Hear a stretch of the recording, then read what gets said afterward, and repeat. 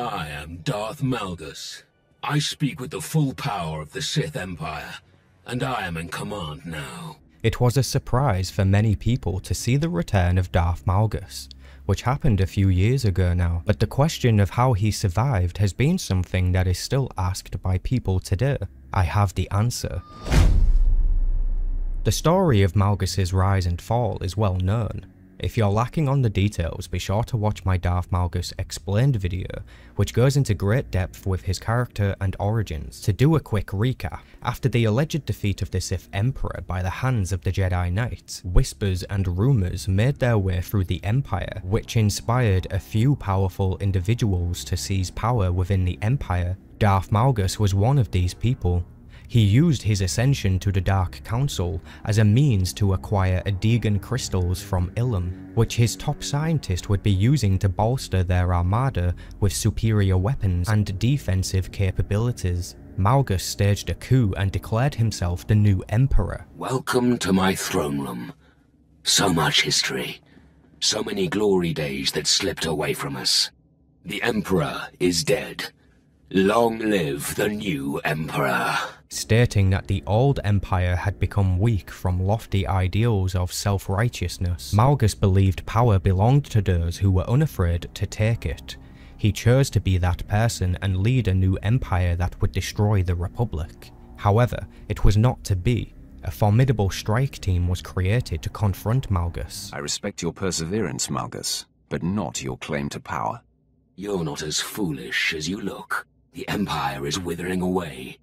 Soon it will be obliterated by decadence and antiquated ideals. Malgus sets the fortress they stand within to self-destruct, giving him limited time to defeat his opponents and escape. But the strike team overpowers him and a grenade is used to launch him off the edge of the platform, leading to what we believed to be his death. If the fall did not kill him, then the station's destruction certainly would have done after the fact. That is how the story unfolded, and many years later, Darth Malgus returns to the galaxy under the control of the Empire, seemingly forced to serve and submit.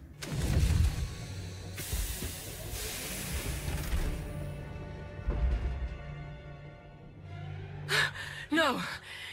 Impossible! You died!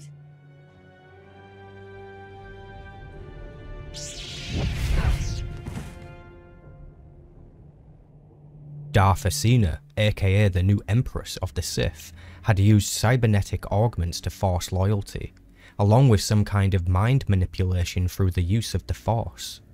In the end, Malgus breaks these chains and walks free of the Empire, despite the fact he gets arrested pretty quickly and spends almost three years in a chair, but back to the point here, how did Malgus survive the explosion and fall during the confrontation?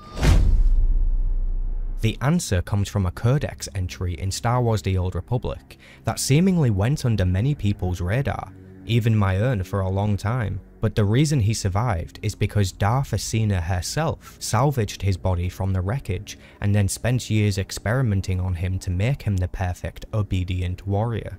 If you recall, during the False Emperor flashpoint, Malgus says this. One of you has vowed to join the new empire. But which one? I'm certainly not telling.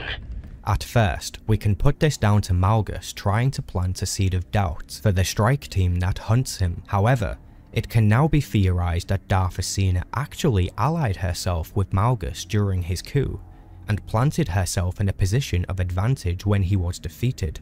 Darth Acina was the traitor who he spoke of, but it's more likely she was just using Malgus for herself. This story takes a gruesome turn here, because knowing that Malgus was alive all along changes a few going theories that we have. When the Eternal Empire attacked the galaxy, many, and I mean many, of the former Dark Council went missing. Their absence meant that Acina could rise as Empress unchallenged. The Codex entry reveals that Darth Acina potentially used Darth Malgus to hunt down all members of the Dark Council and kill them.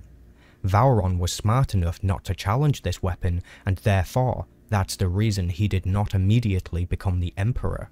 Knowing this small detail adds a lot of context for these few years in the game. It was Darth Acina that saved Malgus from death, and it was Malgus who killed the missing Dark Council members. The pieces all fall together quite nicely. At the time when Acina rescued Malgus, she was a Dark Council member herself and was in fact the head of Sphere of Technology, meaning she had the resources to create the loyalty augment she needed to indoctrinate Malgus. So now you know how Malgus survived and why some of the Dark Council went missing I'd like to say a huge thank you to all my channel members for your support.